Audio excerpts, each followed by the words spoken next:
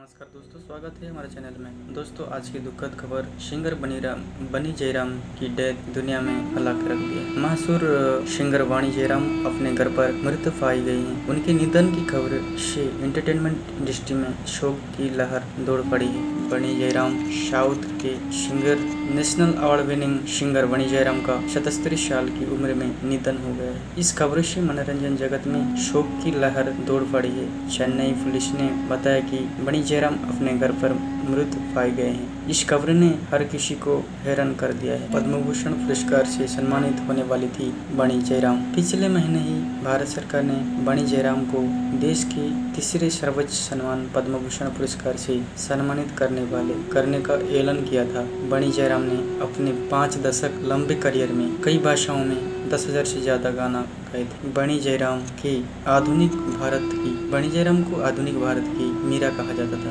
उन्होंने music industry की नई ऊंचाइयों तक पहुँचा था। बणी जयराम ने म्यूज़िक इंडस्ट्री का बहुत पॉपुलर नाम है। उन्होंने कई इंडस्ट्री के बड़े कंपोजर्स के साथ काम किया था और कई एवरग्रीन एडवर्ड्स गाने दिए उन्होंने हिंदी के अलावा तमिल, तेलुगु, कन्नड़, मलयालम, उर्दू, मराठी, बंगाली, भोजपुरी, उड़िया गाने को अपनी दी थी। बणी जयराम ने देश और दुनिया भर में बड़े लेवल पर परफॉर्म किए। उन्होंने फीमेल प्लेबैक सिंगर के लिए तीन बार नेशनल फ़िल्म अवार्ड्स का खिताब जीता था। इसके अलावा उन्हें तमिलनाडु, महाराष्ट्र, आंध्र प्रदेश, केरल, गुजरात और उड़ीसा से राज्य पुरस्कार मिले थे। बता दें कि सिंगर बणी जयराम ने हाल ही में एक प्रोफेशनल सिंगर के रूप में पचास साल पूरे किए थे। उन्होंने एम एस उन्होंने M S Ilaiyaraaja D Burman के पी महादेवन, ओफी नयार और मदन मोहन सहित अन्य प्रसिद्ध संगीतकारों के साथ काम किया था। बणी जयराम की दुखद खबरें देश भर में मचा दिया है। बणी जयराम की दुखद खबर बणी जयराम ने एक फ़ेमस लेजेंडरी सिंगर थे और आज शनिवार को उनकी डेथ हो गई। तो ऐसे ही तो दोस्तों, ऐसे ही ट्रेंडिंग खबरें पाने के लिए हमारे चैनल को सब्सक्राइब करें और चैनल को लाइक करें। धन्यवाद।